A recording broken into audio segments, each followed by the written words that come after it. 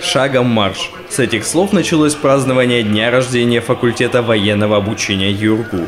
Студенты торжественно пронесли по залу флаги страны, вуза и родного факультета.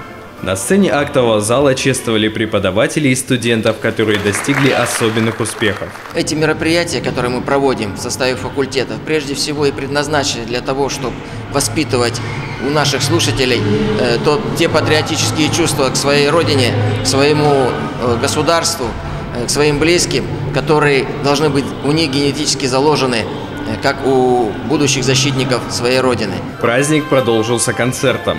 Номера для именинника исполнили вокальные и танцевальные коллективы Юргу. Я считаю, что концерт прошел э, на высочайшем уровне. Выступали замечательные танцевальные коллективы, музыкальные коллективы. Оркестр народных инструментов показал отличный номер. Ну и мы со своей стороны, как мужской хор, э, тоже постарались подарить хороший музыкальный подарок факультету военного обучения. Надеюсь, вам понравилось. Военная кафедра всего на год моложе Юргу. За свою богатую историю факультет выпустил более 50 тысяч высококвалифицированных офицеров, готовых защищать Родину. Факультет развивается, увеличивает число реализуемых военно-учетных специальностей. Сегодня готовят не только офицеров запаса, но и сержантов и солдат запаса. Я хочу сказать, что в стране осталось немного вузов, которые могут похвастаться наличием в своей структуре военных факультетов. Факультет военного обучения единственный в Челябинской области осуществляет подготовку офицеров запаса. У кафедры большие планы на будущее.